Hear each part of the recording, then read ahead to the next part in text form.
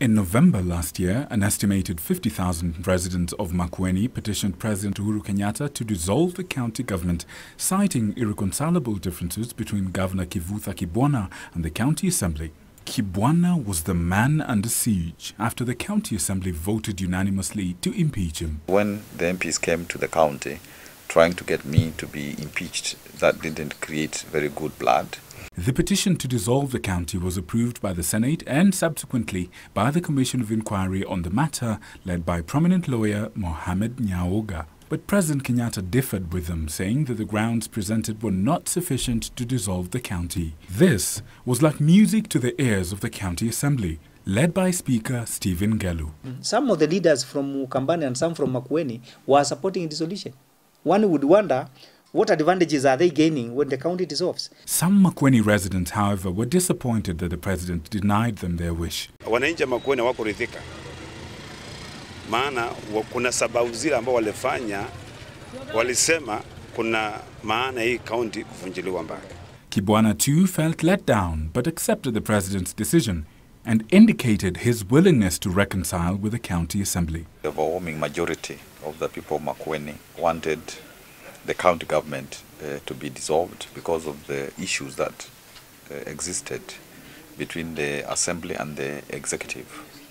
And they were vindicated because uh, the commission uh, made findings uh, which supported the position of the people. Could the president's decision have been based on the need to consolidate support as he seeks re-election in 2017? The MCAs are saying, all of them, the 47, the, if the, the votes are voted today, all of them will vote for Uhuru Kenyatta because the leaders of Ukambani, I don't want to mention names, were saying, let us bury all these people, all of them in one day. But Uhuru said, I cannot bury my county. Nevertheless, the serenity of Wote town, the headquarters of Makueni County government, belies the renewed rivalry between the governor and the speaker of the assembly. Some of my county assembly members uh, don't seem to be yet focused in terms of our sitting together so that we can debate these issues. I don't believe it is a governor saying that, that blaming me on anything. In a situation where the assembly is being given money by the executive to go and oversee them, it will be difficult. It is a grandstanding that the county leaders say is derailing service delivery at a time that they should be consolidating their achievements with only two years to the next election.